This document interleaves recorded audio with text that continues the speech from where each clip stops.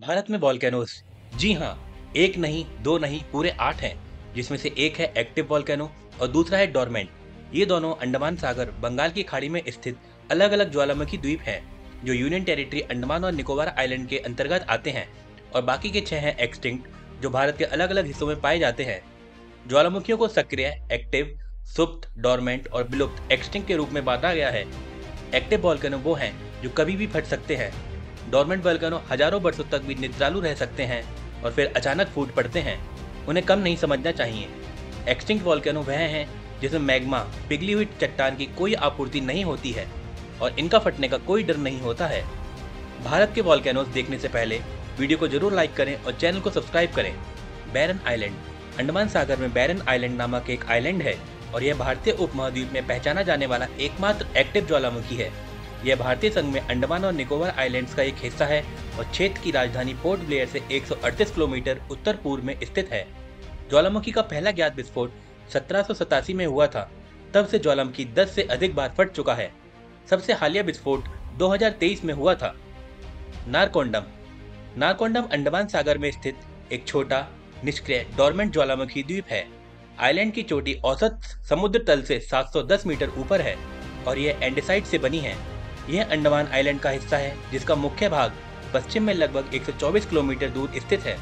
नारकोंडम नाम तमिल शब्द नरक कुंडम से लिया गया है, जिसका अर्थ है नरक का गड्ढा a pit of hell Baratang. Baratang island उत्तरी और मध्य अंडमान ज़िले के अंतर्गत आता है, जो भारतीय केंद्र शासित प्रदेश अंडमान और निकोबार द्वीप समूह का हिस्सा है। रांचीवालास द्वीप, बाराटांग द्वीप का दूसरा नाम भी है। बाराटांग में भारत में मिट्टी के ज्वालामुखियों का एकमात्र ज्ञात उदाहरण है। ये मिट्टी के ज्वालामुखी छिटपुट रूप से फटे हैं। माना जाता है कि 2005 में हुए हालिया विस्फोट 2004 के हिंद महासागर भूकंप से जुड़े थे। दिनोदर हिल्स गुजरात के कच्छ ज़िले के नक्त्राणा तालुका में नानी अरल गाँव के पास स्थित पहाड़ियों की एक श्रृंखला है। इन पहाड़ियों का निर्माण ज्वालामुखी गतिविधि के कारण हुआ था, लेकिन तीन सौ छियासी मीटर की ऊंचाई तक बढ़ने पर इन्हें विलुप्त माना जाता है और इनके दोबारा फूटने की आशंका नहीं होती है। ये लगभग 500 मिलियन वर्ष पहले से स्थिर है। दिनोदर पहाड़ियाँ अपनी अनूठी, भूवैज्ञानिक विशेषताओं के लिए जानी जाती हैं। धोशी हिल धोशी हिल एक विलुप्त ज्वालामुखी है, जो अरावली पर्वत श्रृंखला के उत्तर पश्चिमी छोर पर अकेला खड़ा है, जिसकी ऊंचाई आसपास की भूमि से लगभग 345 से 470 मीटर तक है। ये Precambrian Melanie igneous rock से संबंधित है। दोसी हिल हरियाणा और राजस्थान की सीमा पर स्थित है। हरियाणा का भाग दक्षिण में महेंद्रगढ़ ज़िले में, राजस्थान का भाग उत्तर में झुंझुनू ज़िले में स्थित है।